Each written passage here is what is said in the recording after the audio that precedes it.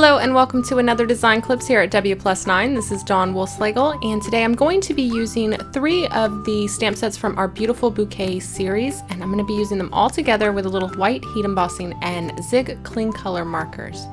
I'm working on Tim Holtz Distress Watercolor cardstock today and because I'm doing a lot of heat embossing I am going to be treating my paper with an embossing buddy bag in between each stamping. Like I mentioned, I'll be using all three of our released Beautiful Bouquet series. This is the Mums, and there's a lot of really dainty details in this stamp set, so I'm using the MISTI and pressing down really well to make sure that I get a very good impression. I want to make sure that Versamark ink is transferring to the paper.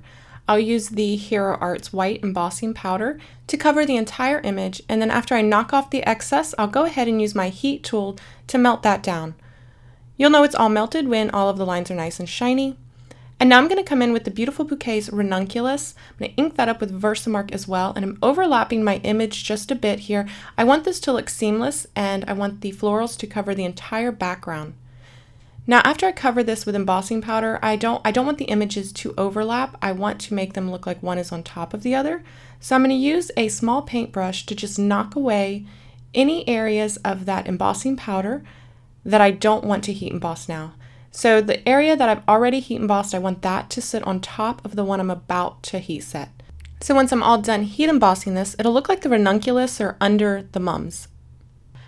And you can see here that it now looks like one seamless continuous pattern. So I'm just going to continue filling in the rest of the background and this time I'm going to switch to the Beautiful Bouquet Dahlia.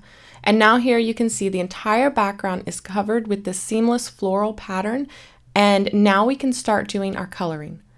I chose to use Zigs today as I have not played with them very much. I want to say this is my second time really using them. So today, when I started this piece, I really did not have um, a solid plan for it. Didn't know if this was going to be turned into a card or not. I really was just doing it for the daily marker 30 day color challenge and I thought it was a great opportunity to get to know the Zig Clean color markers, how they react, get to know the different colors. So in this one piece, you'll see me doing a lot of different techniques. In this first set on the ranunculus, I am a little more detailed. I'm actually trying to add in some shadows, just trying to see how these colors move about, how they layer up, how they mix. Then as I move on to the rest of the project, um, I'm going to do much lighter applications, much more washy applications. And again, I, did, I didn't have a set plan. I really just wanted to get to know this medium. So I'm using just about every color that I own in this piece. Again, I want to see what the colors look like when they're super vibrant and concentrated. I want to see how they wash out, how light they get. And then again, I come over dry areas with the other markers to see how they layer up, how they build up on each other, checking out their transparency. Um, I actually really like them. I like the vibrancy of these. Uh, traditional watercolors tend to be a bit more muted. And so I do really like the vibrancy of these.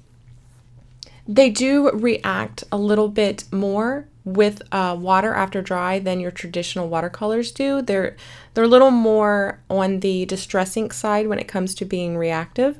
Uh, so you could wet it and lift up quite a bit of color. I didn't notice a ton of staining on the ones that I tried to lift, but I kind of as I'm watching this back, and I don't know if you guys, even those who don't make YouTube channels, have you ever tried filming your process like this. Just turn on your phone and film it because as I watched this back, there were a lot of um, times or areas that I was looking at this going, ooh, that gives me an idea if I just did this portion on a card or if I just did that technique on a card.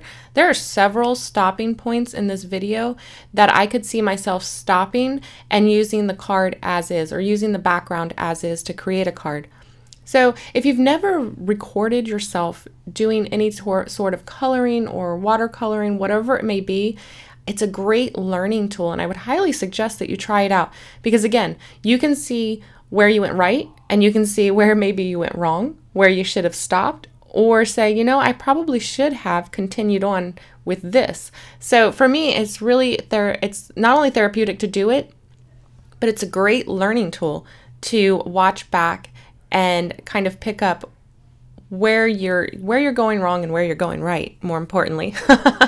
Because you don't want to a lot of the times i walked away from this piece for example thinking hmm, yeah that was fun but i don't think i really like how it ended up. Um, i don't know i'm not really liking it. And i kept coming back to it and walking away and coming back. And each time I came back, I found a part that I liked more and more. It, it started to, whereas bef- when I first stopped, I was like, mm, hot mess.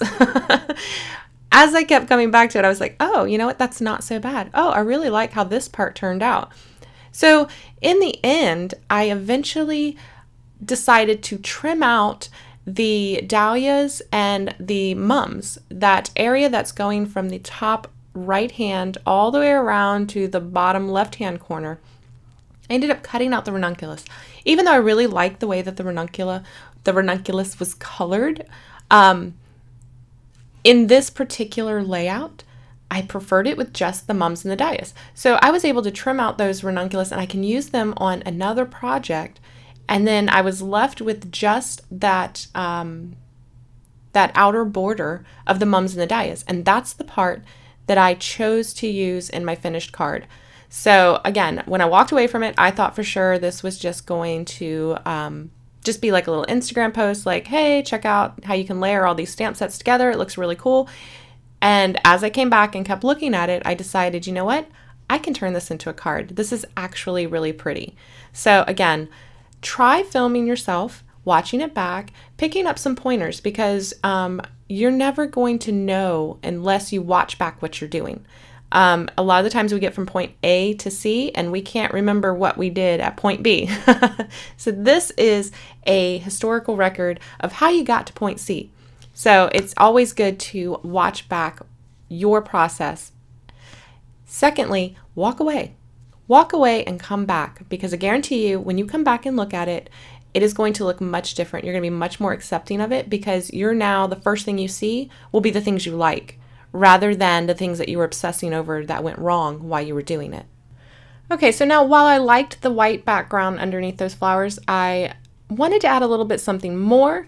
So now I'm going to take some Distress ink and I'm working with peacock feathers now. And I'm going to add a soft wash in the background here. I'm working on the Tim Holtz Distress watercolor paper again. And I'm just watering it down and spreading it out.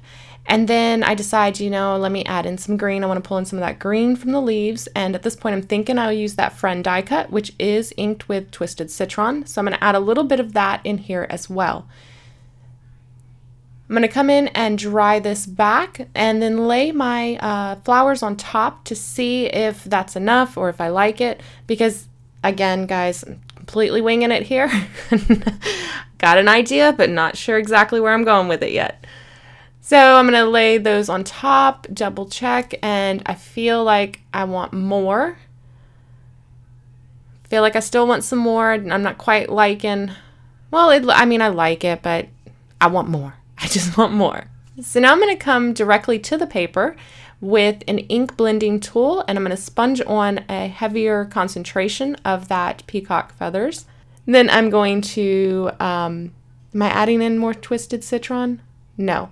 I'm going to come in with some water and I'm going to create the, um, make it look like there was water spilled on this basically is what I'm doing. I'm creating um, water stains or water rings by bringing the water in from the edge and just letting it pool there.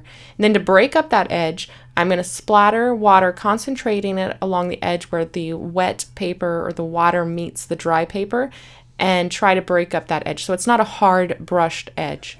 Looks a little more organic. So I keep fussing with that for a little bit. Once I'm all done, I will heat set that, lift up any excess water, and now it's time to assemble this card, finally. so I've die cut the panel using the gift card layers die, and now I will adhere the florals on top using some 3M foam tape. And I was originally going to use that Friend die cut by Simon Says Stamp, inked and twisted citron. I decided since I had so much color, I needed a break in that, so I die cut another one from plain white cardstock, and I'll be adhering that with some trimmed down 3M foam as well. And then the parts that are laying directly on top of the florals, I'll use the multimedia matte for that. I'm also going to stamp a another small greeting from our hand lettered thanks stamp set. So it will say, You're the best friend And um, I'm going to be heat embossing that in white as well on black cardstock. So as usual, anti-static buddy bag and then heat emboss that. I'll trim that down so it fits nicely back behind here and I'll adhere that directly to the panel using again the multi-matte medium, multi-medium matte. I always say it backwards. So I just finished this off by adhering the entire panel to a top folding A2 card base and then added a few sequins from Simon Says Stamp and Pretty Pink Posh. Really hope that you guys enjoyed today's card. If you haven't already, be sure to check out the Daily Markers 30 Day Color Challenge. It is a lot of fun and it's a way to be a little creative every day. Don't forget to check the description box below for all of the supplies and links to more on today's project and for more inspiration. Again, thank you for watching and I will see you next time. Bye!